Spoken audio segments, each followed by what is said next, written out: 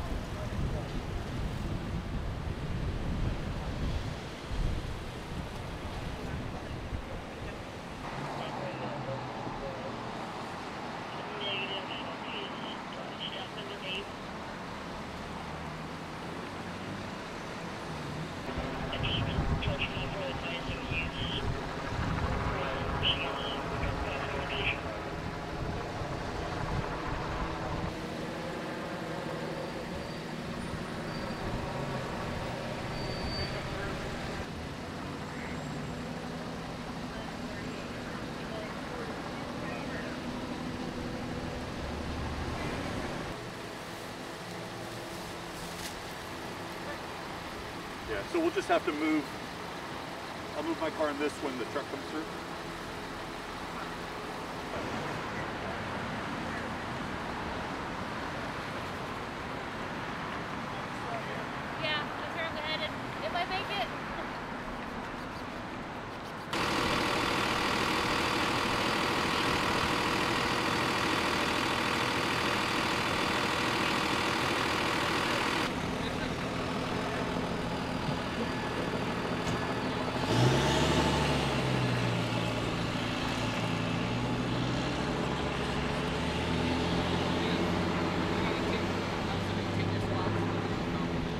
All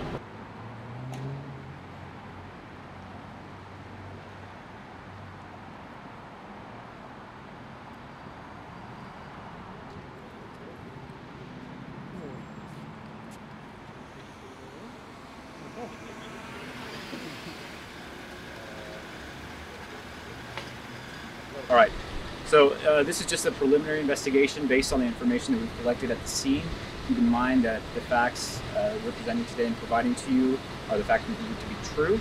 But as the investigation develops, there may be more information that we'd be willing to share and have for you at that time.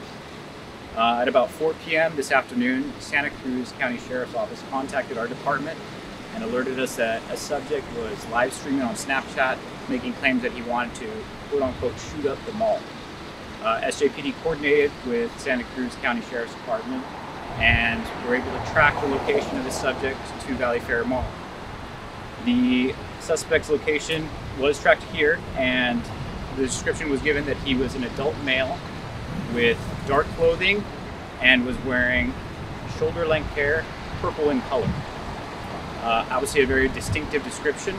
Coordinating with mall security, officers formulated a tactical plan ensuring public safety and keeping the safety of the people in the mall in mind. Went through the mall, locating the suspect, ultimately taking him into custody without incident. I'd like to highlight the importance of uh, the coordination between Santa Cruz County Sheriff's Office and thank them for their assistance in this, as well as Santa Clara Police Department, who was here and responded to the scene and assisted with the investigation as we share jurisdictions in this area and around the mall.